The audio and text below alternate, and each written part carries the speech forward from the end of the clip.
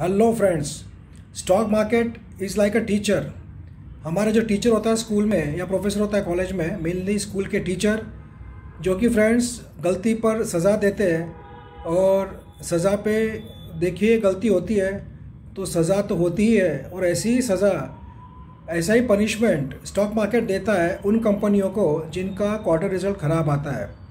और वैसी ही पनिशमेंट और सज़ा हमने देखी थिरुमलाई केमिकल्स को जो कि एकदम फाइन कंपनी थी केमिकल सेक्टर की एंड स्पेशलिटी केमिकल की। बट देखिए, आप अगर देखेंगे तो इसका सितंबर क्वार्टर आया था रीजनेबल मतलब ठीक ठाक आया था, बहुत अच्छा भी नहीं, बहुत बुरा भी नहीं। बट क्या हुआ?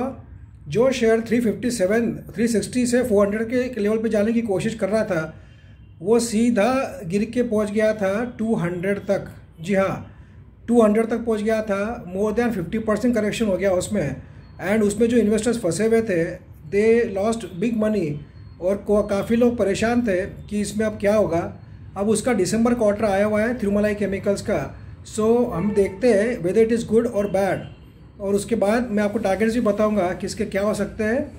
आज इसका क्लोजिंग था two sixty rupees and fifty rupee खाया था थ्री फिफ्टी सेवन रुपीज़ का। इसका पी है नाइन का जो कि एक्सेलेंट है। E P S is twenty seven वो भी बहुत अच्छा है।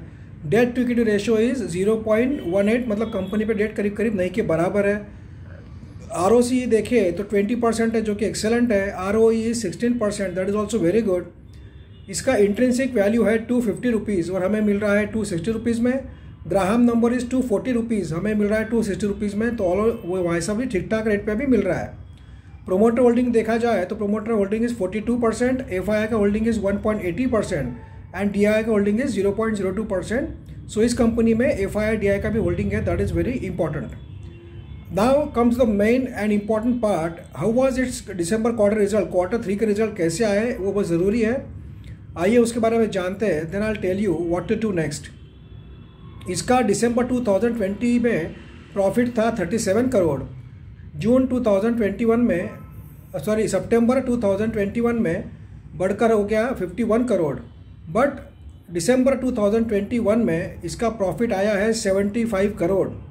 Friends 37 crore 51 crore and 75 crore company ने प्रॉफिट बहुत शानदार दिया है दिसंबर क्वार्टर में।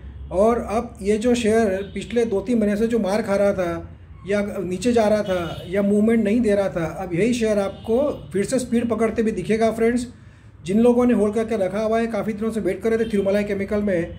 Now they can be happy now immediately it will run very fast in coming three months जो लोग नई एंट्री करना चाहते हैं, वो भी केमिकल सेक्टर का स्टॉक को ढूंढ रहे होंगे।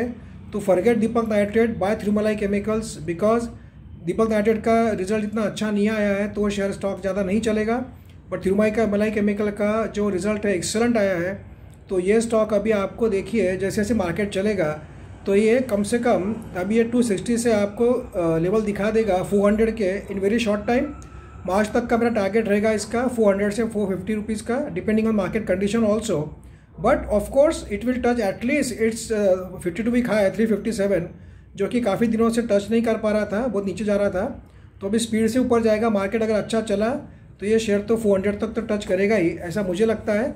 बाकी आप लोग अपना स्टडी करके भी डिसीज़न ले सकते हैं but now it is the right time to buy Thirumalai chemicals keeping in view at least three months target and March का रिज़ल्ट देख के फिर से डिसीज़न लेना whether to continue with Thirumalai और एग्जिट मार्च का रिज़ल्ट अगर खराब आया तो इमीजिएटली एग्जिट करके you should shift to the next good share which will give you better result और अगर इसका रिज़ल्ट और भी अच्छा आया as compare to December quarter तो you can stick on to Thirumalai chemical because again it will reach new level in the coming quarter so friends Thirumalai chemical congratulation जिन लोगों के पास है now they can have a happy ending कि अभी आप थोड़ा सा खुश हो सकते हैं और जो लोग नई एंट्री करना चाहते हैं वो भी थिरुमला केमिकल को अपने पोर्टफोलियो में ऐड कर सकते हैं बिकॉज़ ये शेयर अच्छा रनअप दिखाएगा आने वाले तीन महीने के लिए थैंक यू